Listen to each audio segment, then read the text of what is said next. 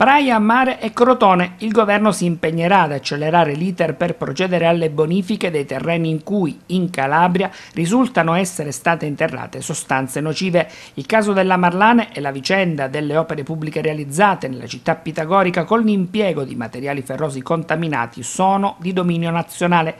Ad annunciare l'iniziativa del governo è il ministro per gli affari regionali Maria Carmela Lanzetta. A Roma sarà costituito un tavolo per le bonifiche che andrà a ricomprendere tutte le aree a rischio presenti nel paese. Alla regione Calabria, ha detto il ministro Lanzetta, ho chiesto di attivare gli studi necessari per il territorio. Sindaci e organizzazioni sindacali chiedono che le procedure di bonifica partano al più presto per consentire l'individuazione e l'eliminazione dei materiali materiali e delle sostanze nocive dai terreni risultati inquinati. Dalle associazioni ambientaliste arriva poi l'appello ad occuparsi anche dei casi relativi al recupero dell'alveo del fiume Oliva nel comprensorio di Amantea e del bacino idrico dell'Alaco, vicenda quest'ultima che coinvolge la popolazione di decine di comuni delle province di Vibo e Catanzaro.